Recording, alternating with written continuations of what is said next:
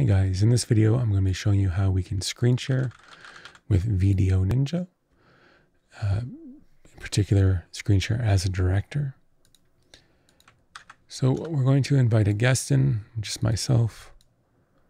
I'm going to bring myself in as a virtual cam so we get started. Now, the guest does not see the director by default. You have to enable the director's microphone and video on the bottom here by clicking this button. That will enable, enable the director's microphone by default. So they can see the director, but they can, they can hear the director, but they cannot see them. We can click this little gear icon and we can change our camera so we have a camera enabled. Now as a director, we can hold command or control click on that and we get stats on what the guest is seeing. And as well, the guest can control or command click on the video to see the resolution 360p. Now, the guest can press this button in the top right, which will turn the video into a full window, and the resolution will double. So, the, if the performer or guest wants to see some uh, fine detail, they can press that and they can zoom in. And they can return to normal, and the resolution will drop back down.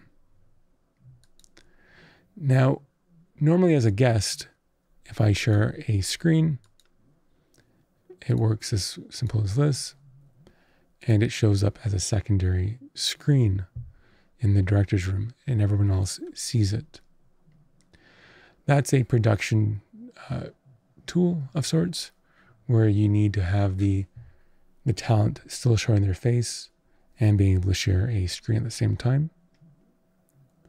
And if they stop it, it gets rid of that stream. But as a director, it's quite a little bit different. Uh, a director is typically usually broadcasting to an audience. Uh, their computer is usually overloaded with production tools. And more importantly, the director is uh, special. Their connection is identified as the director and so they get special uh, privileges. Now, at the moment, VDO Ninja only supports one director. So when we screen share as a director, it doesn't create a new stream. It doesn't create a, a second window. It simply replaces the current video stream with screen share. So your webcam is replaced with a screen share. And if you stop the screen share, your webcam returns. This saves a lot of CPU power for the director because if they screen share with an audience, it's not creating two streams with twice the load. It is simply switching to the screen share. So this was the chosen uh, option at the moment for directors when they're screen sharing. It is a webcam or screen share. You also have this option here where we can uh, share a website. All right. We can stop that. That's useful for sharing maybe a YouTube video or a Twitch video. Uh, but it too also replaces the director's window. That, that window has special powers because it's the director's video. And when you screen share, it creates a whole new stream, and that stream does not yet have um, director status. Now, if you do want to come in as a screen share as a director, uh, you don't need to use the director's room uh, at all for that. So you can actually hang up and just use the director's room as management, and you can join the room as just a guest the difference is if you want to reduce CPU load on your guests themselves, you can add view with nothing after it to the end of the link. And when you screen share into the room, what we'll have, we'll have the, the screen share show up in the director's room still. We'll have this show up here right? And you will not be seeing any of the other guests because this view command uh, made it so there's we're not viewing any additional streams. So we're not really creating additional load for anyone in the room.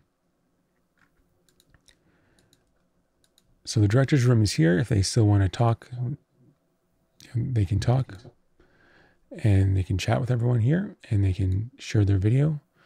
And the second tab you have open is useful for sharing your screen. And when you're done with it, you can hang up and that screen share is gone. You could share multiple screens to a room this way.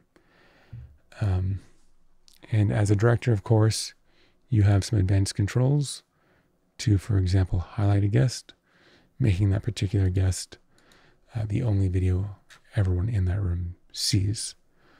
So you, you in essence have control over this button. Okay. So that, that is the reason why the director currently cannot screen share at the same time as their webcam within the director's room. It's been configured um, currently to, to be just one option. Now, if you do want to screen share and have a webcam, you can do this.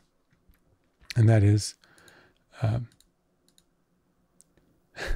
it's a little bit funky, uh, but that is feed your OBS output into the director's room as a virtual camera.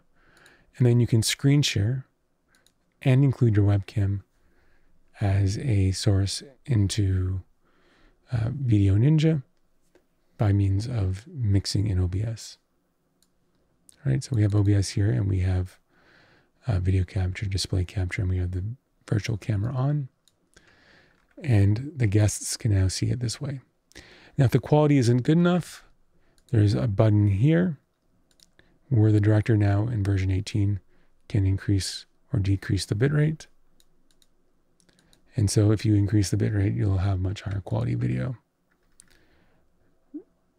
So that is kind of nice. Um, and you can turn it down. Let's say something low, and this will conserve um, more CPU power.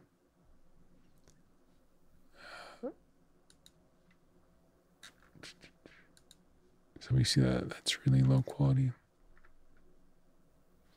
And when you full screen this, it actually goes back up quite a bit. Anyways, uh, so that, that's one way of controlling the quality. Okay, I hope that helps a little bit. Um, yeah. Cheers.